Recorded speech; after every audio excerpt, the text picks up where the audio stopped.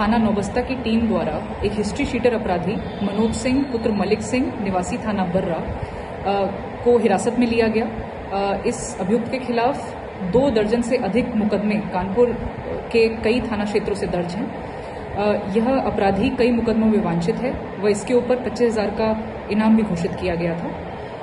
हिरासत में लेने के बाद मौके से ही इसके साथियों द्वारा इसे छुड़ाकर भगाने का प्रयास किया जिसमें वह सफल हुए। इस संबंध में थाना नौबस्ता पर ही 420 बटा 21 मुकदमा अपराध संख्या दर्ज कर लिया गया है सुसंगत धाराओं में। इनका नाम सर वो एफआईआर में नहीं है इसका रीजन? नौबस्ता वाले ही बता सकते हैं।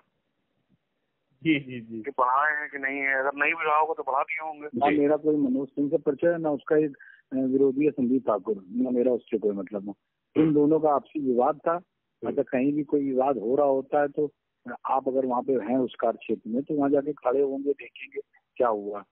ठीक है? अच्छा वहाँ पे ये लगा कि कोई अप्रिय घटना ना हो जाए क्योंकि तो जो पुलिस थी वो शादी वर्दी में थी। ठीक है ना? तो वो एक ये भाव लग रहा था कि उसमें कोई हत्या की साजिश या इस टाइप का कोई कार्यक्रम तो नहीं तो संयोजित तरीके से कर रहे हैं ये लोग।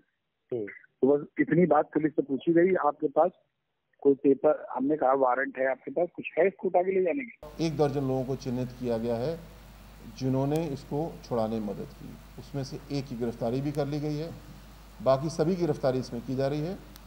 इस बात से कोई फ़र्क नहीं पड़ता कि कौन किस व्यवसाय में है, या कौन किस राजनीतिक पार्टी में है, या था। जिसने गलती की है, जिसने अपराध किया है, उसके खिलाफ कार्रवाई होगी और पूरी सख्ती से होगी।